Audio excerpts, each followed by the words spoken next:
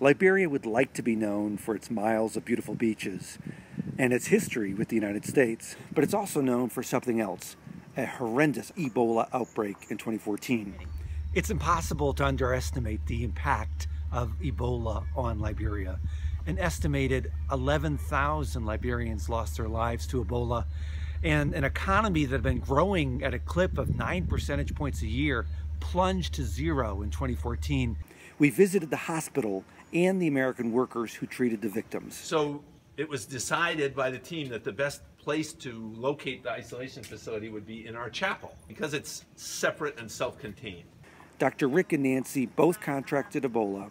They were flown to the United States, treated, and returned to Liberia, rare survivors of the Ebola outbreak. Health workers here also told us that if UN peacekeepers hadn't been in place to keep Liberia stable, thousands more might have died from Ebola. But officials here will tell you there have been some positive developments too. The world came together like never before. The UN, the Liberian government, the Centers for Disease Control, even the US military. They agree on priorities, which makes it much easier to detect and respond to Ebola next time.